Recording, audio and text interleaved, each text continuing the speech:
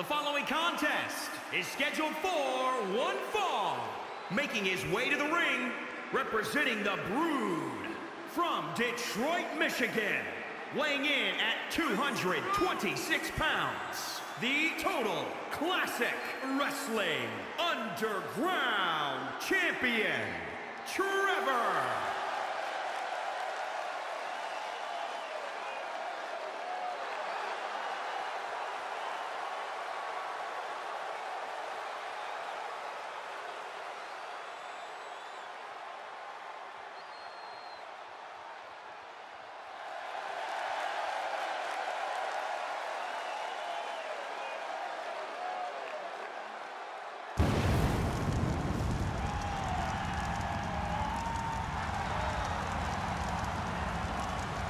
His opponent, representing the Disciples of Apocalypse, from the bottomless pit, weighing in at 276 pounds, Nathan